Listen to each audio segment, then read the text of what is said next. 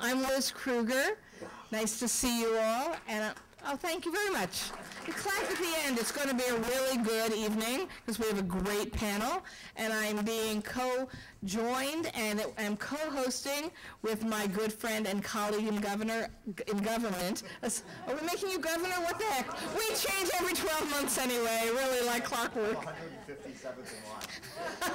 Assembly Member Brian Kavanagh, and we are in his district, both of our districts, but um, happily in the southern end of my district. And I want to welcome you all tonight um, for our forum on co-op and condo issues. So if you thought it was another topic, you're going to learn about co-op and condo issues. Um, we're both, Brian and I are both delighted to have you here tonight. I've actually done a forum like this on the northern end of my district about three months ago, and we had the same distinguished and fabulous panel. So I know something you don't know yet. It's a really great discussion, and you're going to be able to learn a great deal, and you're going to walk out of here going, I have more questions, but I also am empowered with more information about how to deal with issues that you may in fact be dealing with in the buildings you live in now, or know of people who are dealing with similar issues in other buildings. Um, just quickly, in a few minutes, I'm going to hand it over to Brian to introduce people, and then our panelists are going to be speaking, ab- and they've already worked out their short presentations, and we're going to be opening it up to significant opportunity for question and answer.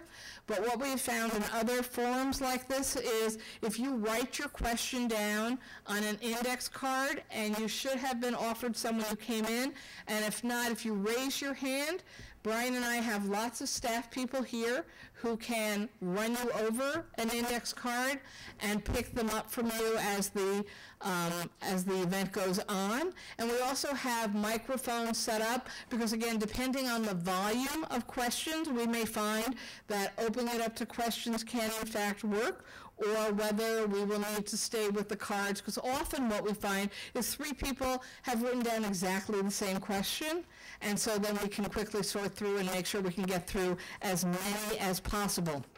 Now, a couple of just pieces of information. There are certain things we probably aren't going to be able to talk a lot about tonight. One, because we aren't the experts. Actually, I'm not the expert, so I'll speak for those three.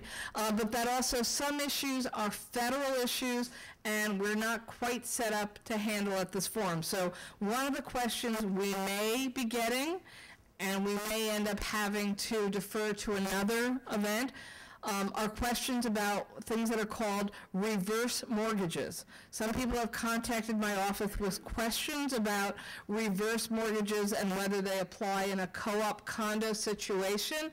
Um, and in fact, that's the concept where you, you quote unquote own your co-op or condo, but you are short of money and you're exploring selling your co-op condo in a reverse mortgage situation where someone would pay you a monthly mortgage fee for the rest of your life. There are pluses and minuses. There are some real concerns that you should have before you jump into any kind of proposed reverse mortgage in a co-op or condo.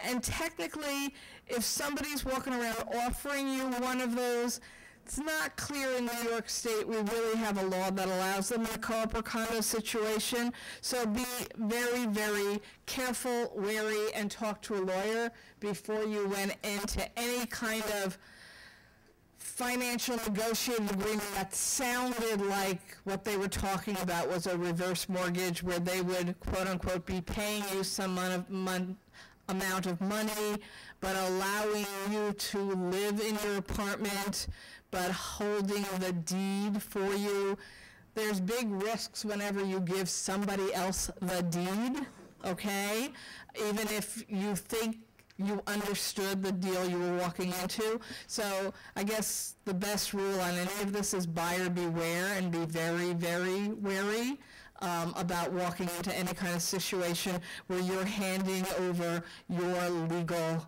um, ownership documents in a co-op or condo situation. Um, there are also lots and lots of questions that come up between shareholders and boards regarding capital improvements and rising assessments, specifically issues for seniors, and that's a growing situation um, that we're going to hear, I think, a lot about because we hear it everywhere we go.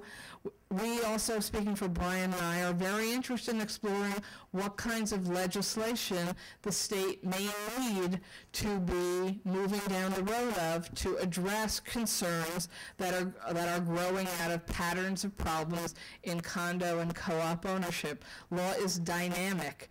Um, it needs to respond to the patterns of problems in communities. And so most of us in, in Manhattan are never going to be private homeowners in the traditional sense for the rest of the country of what a home is. Our homes are apartment units within buildings where we might be co-op owners, we might be condo owners, or we might in fact be rental tenants within a condo or co-op setting. And law is very complicated and needs to address the complex situations of condo, co-op, multi-unit housing. So I know speaking for myself, you know, we're very interested in continuing dialogue about bills that have been introduced that are languishing around co-op co-op condo owner bill of rights, um, questions of open, transparent relationships between boards, their management companies, the owners um, within the building, and the board representatives and sponsor representatives. We get lots of questions relating to that, and I bet we will get some of them tonight. Um, the importance of making sure that there are standards for the operation of board of directors, the concepts of term limits and qualifications of building managers and board of directors who understand what their legal and professional responsibilities are to each other and to other owners and tenants in the building. Um, there's sort of endless issues that overlap the judiciary and the role of city and state government. Um, and again, there's no territory that is off limits for asking questions about.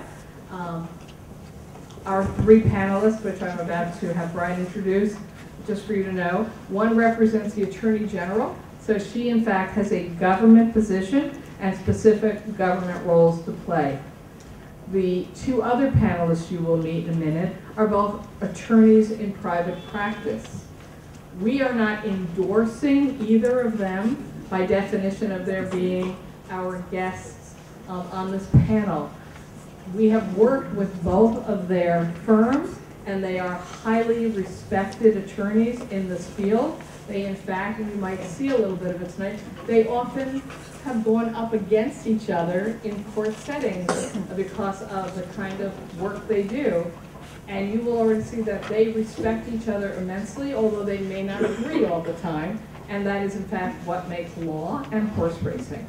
Um, but the reason we have asked them both to speak on this panel tonight is because we are very, very confident that the answers to the questions given are factually correct and based on a long history of work in this specific field of co-op condo law. So I'm greatly appreciative of Lucas and Kevin both agreeing a second time round to come and be on this panel um, because you will see they are incredibly knowledgeable. But again, we're not advertising them or their firms and they are not being paid for this. They are doing it um, as a professional. Yes, you're not getting paid for this, guys. I forgot to tell you that. Okay, now you all heard it. Um, they have agreed to do this because um, they both not only are so well respected in their field, but they also know how important it is to have more information out there available to the public about these complex and important issues that affect so many of our lives.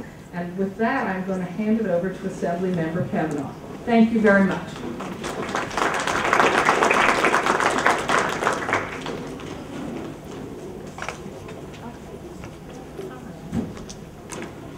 More chairs are coming. The chairs are coming.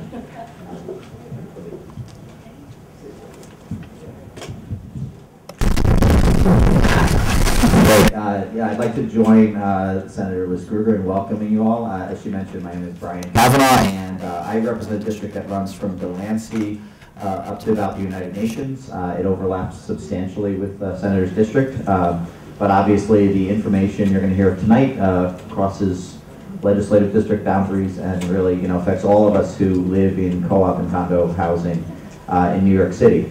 Um, We're very happy to do an event on this particular topic because uh, co-op and condo uh, arrangements kind of get to a couple of things that are really the heart of uh, what we uh, deal with as New Yorkers. And one is obviously uh, they affect our, you know, most uh, often our most significant assets, uh, our financial assets, and obviously, you know, the place we live and the community we live in.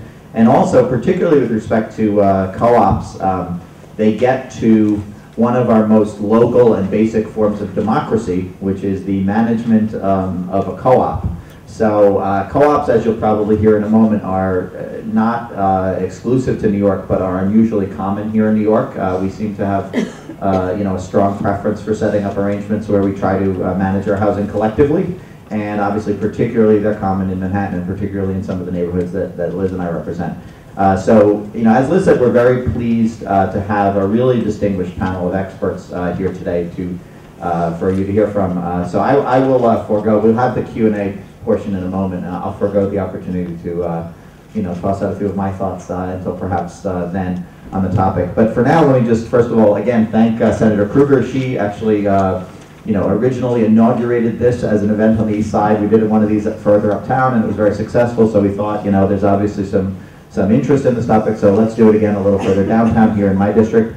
Um, and you know, she's a great advocate and, and great elected official, in bringing information and advocacy on so many issues to us, and, and real, a real role model. Um, I'd also like to just take a moment uh, to thank uh, Baruch College uh, for providing this space, uh, particularly Eric Lugo, who uh, is standing over here. Uh, he's very helpful in arranging this. I did see David Birdsell and Barbara Fife uh, floating around. I don't know if they're still here, but uh, they, uh, they, uh, you know, they're some of the leadership of the School of uh, Public Affairs.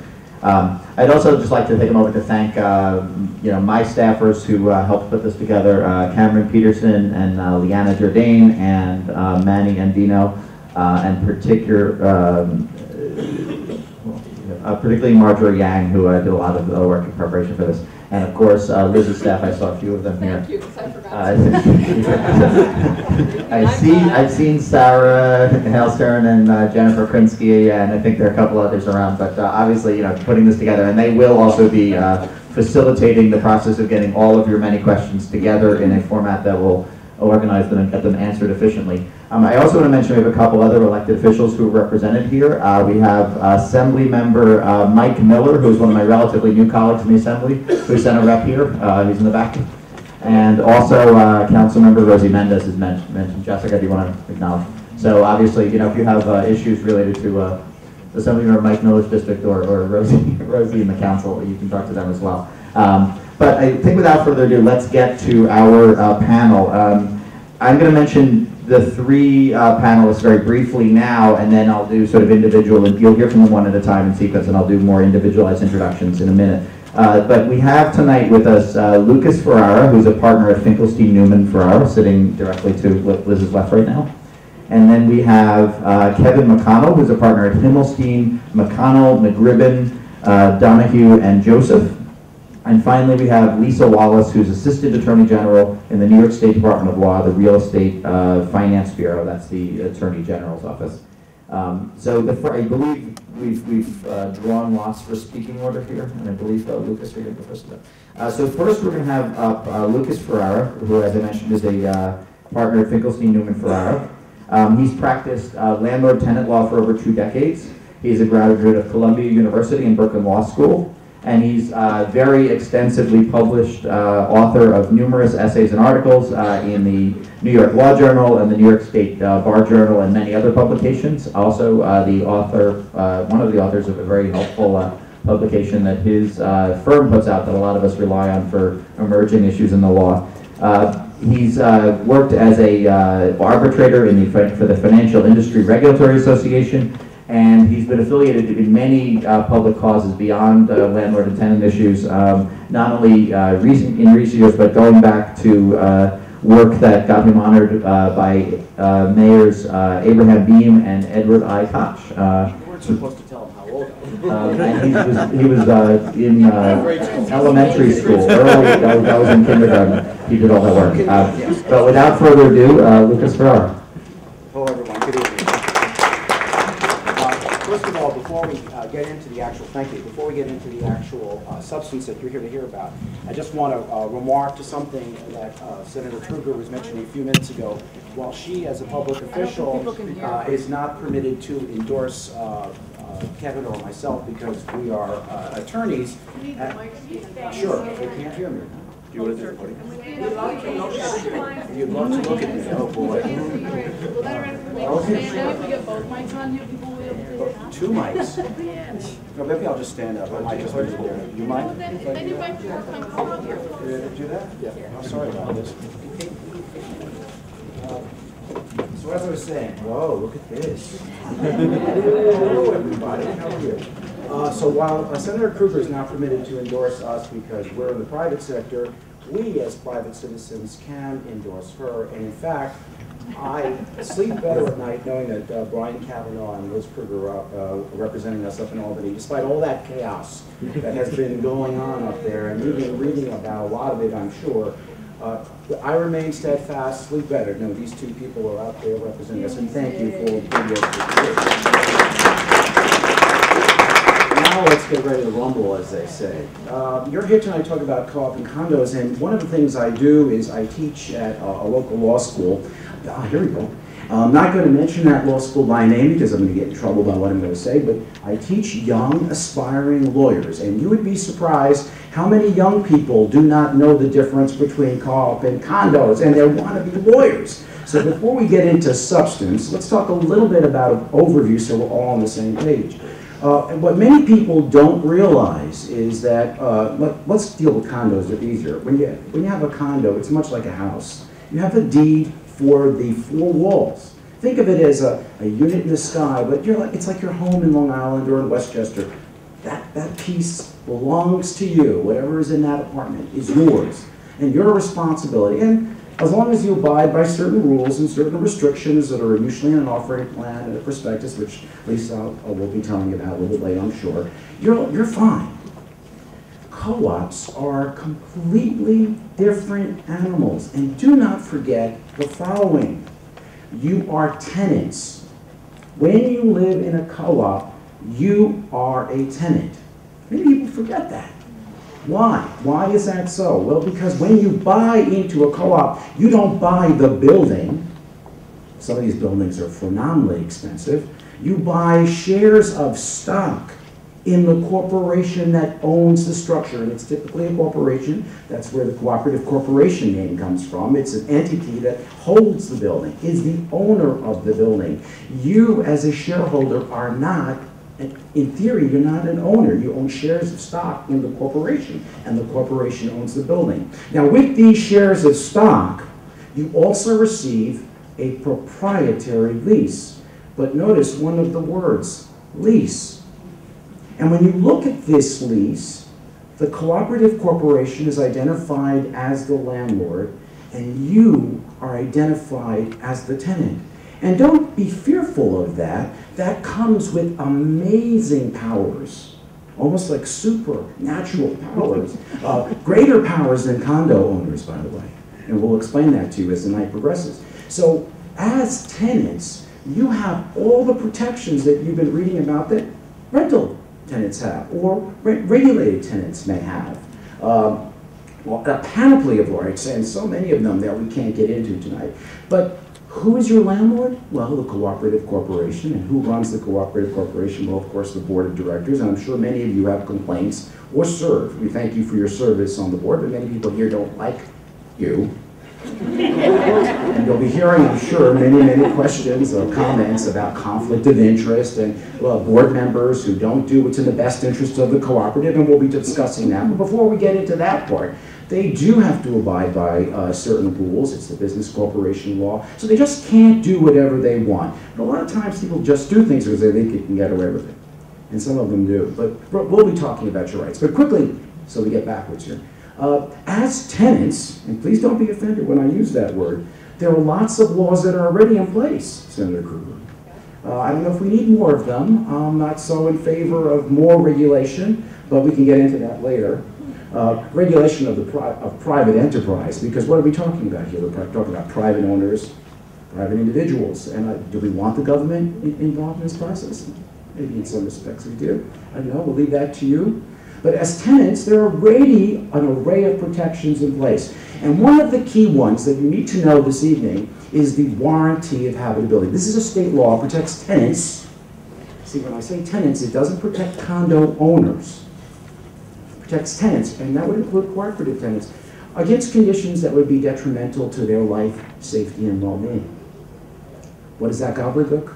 Well, let me give you three of the most common examples in the short period of time that I have. You know, I, I got one of these questions emailed to me uh, um, over the weekend. The three common problems in co-ops, I'm sure, that, are, that in my opinion are subject to this state law that will protect you, noise, smoke, or odors, uh, and mold.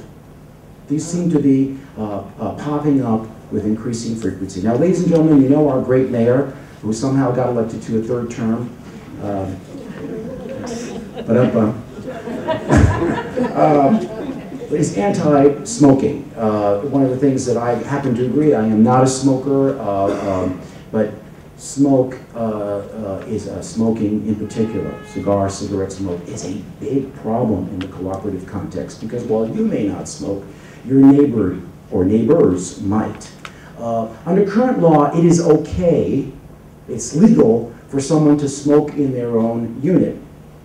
There's no law. I think that the mayor has been, the city council has been looking at possible uh, legislation about banning cigarette smoke in one's unit. Uh, that has not gone very far, but that's one of the things that, that, that that's out there. Uh, we all know the dangers of secondhand smoke. When I was a youngster in kindergarten, um, I remember that uh, there was some dispute about whether uh, cigarette smoke uh, would cause cancer. I think we all know now the carcinogenic effects. Smoking is dangerous. Let's get beyond that. So why am I telling you things? Well, while it's legal to smoke within your unit, ladies and gentlemen, the minute, the second that that smoke emanates out of your unit and goes into the common areas, or more commonly, into your next door neighbor's unit or my unit, you're impacting me, are you not? If we can agree that secondhand smoke is dangerous, carcinogenic, can cause cancer, among other things, asthma and all these other physical ailments, then aren't you exposing me to a condition that would be detrimental to my life, safety, and well-being? Well, you better believe it. I'll answer that question. Of course, it's a violation of state law. So do you mean that the board of directors are required to adhere to that law and to make sure that I'm not exposed to this evil smoke? You better believe it. It's their duty. It is their duty. And I got a, an email from a, a, someone that attended our, our past presentation saying, am I within my rights to tell the board to take action? Absolutely. It's their duty. Because there's a state law that says that they must ensure that the premises are free of conditions that are detrimental to your life, safety, and well-being. Pretty fundamental, but a lot of people don't appreciate that. So if you have asthma or you don't have asthma, you're entitled to protection by the cooperative board, and you write a letter. How do I do this? How do I advise them of, that my rights are being violated? Well, typically, sometimes conversations to a, a representative on the board will work. We don't need to be confrontational just because we're New Yorkers. It's the second one that, that died. uh, you know, sometimes a conversation in the hallway, or if you see someone in the, in the elevator or in the street that's on the board, you, you can voice the problem. Of course, a lot of times that falls on deaf ears. So what are you supposed to do? Well, letter writing, putting people on official notice, legal notice, uh, certified mail, FedEx, whatever form of receipted delivery you want to use, you send the president or a member of the board a notice that, you, that the state law is being violated. You are entitled to these protections. Now, mold and noise, also very, very common, happen all the time. We get these calls all the time. Noise is one of the most difficult ones because you know, noise is, is subjective. You know, what uh, may be noise to you is rock and roll to me, baby. Uh, I love music. I love music but the, you may not appreciate it. Uh, in fact, you may not appreciate the volume. You may not appreciate the fact that my kids are running up and down uh, my apartment, which is above yours, and you're hearing a thumping sound all night. Or how about, this actually happened to me, the young lady abo- above me, she is physically fit. She's on that treadmill all hours of the day and night, and I hear that thumping going up and down. Drives me crazy. And it's enough to drive anyone crazy. Is that a possible violation of state laws? Well, yes, there are many cases about that as well. So noise and odors and all these protections are in place. So why? I hope today when you leave you feel empowered. There are many, many protections already in place. So keep that in mind uh, when you're out there. Now, uh, before I, I, I sit and, and take a seat, I, I just want to let you know too that the, the, the board is not free to do whatever it wants. In addition to state law, I know that Kevin's going to disagree with me. Uh, they're required to exercise some judgment here, okay? Uh, I look at co-ops, and, and for the Italians out there, uh, as a shtetl. Um, for those of you who who don't speak Italian, um, a shtetl is, is like a village, a little village. Um, and so look at your building, uh, each building right now, under current law, which I, I think that uh, may change over time.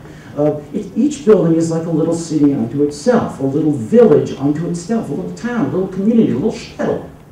And you're going to have a mayor, male or female, I'm not trying to be sexist, you're going to have someone that's going to run, uh, run this community, run, you may not necessarily agree with all the decisions. Now, what the law is afraid of is judges getting involved in the day-to-day operation. They don't want to do that. They don't want to have to make decisions. They want us to act like adults. And they want us to make rational decisions without involving the courts. So there is a standard out there called the business judgment rule. It's a very high standard, which basically means that unless there's fraud or self-dealing or some illegal conduct, the courts really don't want to get involved in the day-to-day uh, management and affairs uh, of a building. Can you imagine the havoc that would wreak if the courts had to get involved in every, if you disagree with every decision? Well, what's the answer? Make sure your position is clear. You voice your, your go to meetings, vote, be involved. Don't- be passive. Don't sit back. Know your rights. There's some great booklets that are here. Please get them. I was looking at them uh, myself. Don't be embarrassed. The one that said tenants' rights, very, very helpful information for uh, co-op owners. Uh, many of those same protections apply to you, as I indicated. And then, as far as the, uh, uh, the, the uh, the, the responsibilities of the co-op uh, board members are concerned, this little blue booklet, which you'll find right up there, talks about all the questions, all the standards, the fact that there have to be, there has to be annual meetings, that you're entitled to have access upon reasonable notice to the books and records. Th- That's all there. All these protections are there for you already. So, ladies and gentlemen, do not feel that you are victimized. You have many, many more rights than you think. All you need to do is look online, go to the Attorney General's website, pick up some of these booklets, be empowered, take action. And if you don't like what's happening in your building, run for office. Become involved. Get yourself voted in, and then you can make a difference in the lives, not only of your family's life, but for your own lives, but the lives of others. All right, look forward to taking your questions, but I'm now going to yield the floor